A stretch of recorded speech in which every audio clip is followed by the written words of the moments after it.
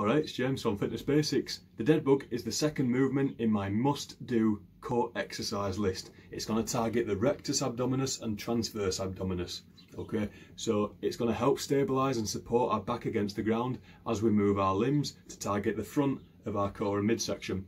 The dead bug trains our bodies to resist anterior pelvic tilt, so we're consciously bracing our stomach to support our spine against the ground as we do this exercise. It's also very low impact. There's no strain on the neck, shoulders or elbows as opposed to like a plank or a crunch. And it also trains abdominal strength, bit of stability, mainly strength. So I'm going to take you through this exercise, show you how to perform it properly and how often I'd advise training the dead bug. Let's get into it.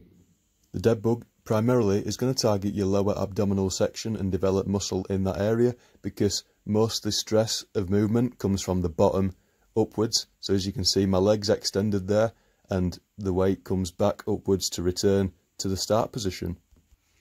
To start the dead bug, you want to lie on your back, knees bent, and seal that gap between your lower back and the ground by bracing your stomach towards your spine. Arms across your chest and then create that 90 degree angle from your hip up to your knee, across to your ankle, and then point the toes up. From here, just work on extending one leg out and down, but not touching the floor.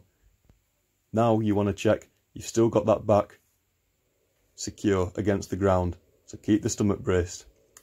And then you want to return the weight stress of your leg back up to that 90 degree angle.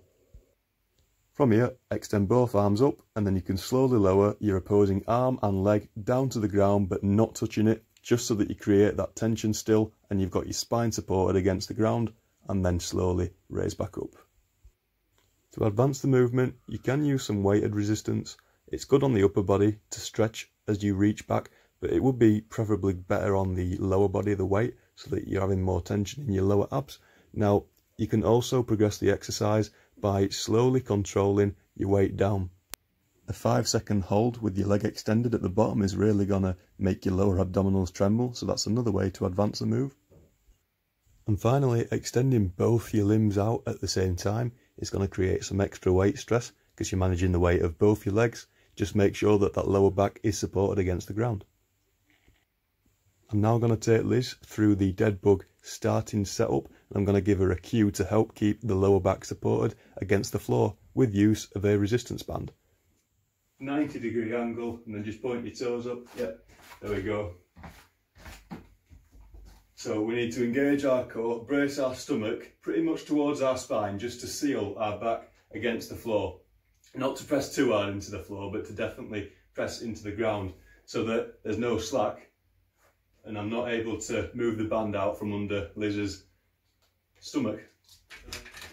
90 degree angle, so just raise your shins. Great, okay. So tense the midsection, in towards the spine and the floor so that you've got no slack when you pull a band underneath the back. If you extend that leg, extend it down forward, you're still keeping tension in the midsection there. You can bring that knee back up.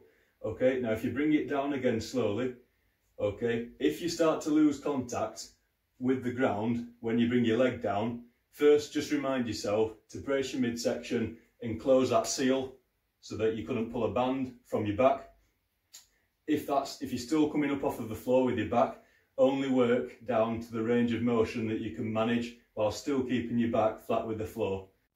How often do I advise training the dead bug? It will depend on the individual's fitness levels and their tolerance to abdominal training. For beginners, extend your opposing arm and leg down towards the ground, hold it above the ground for around 3 seconds and slowly return back up.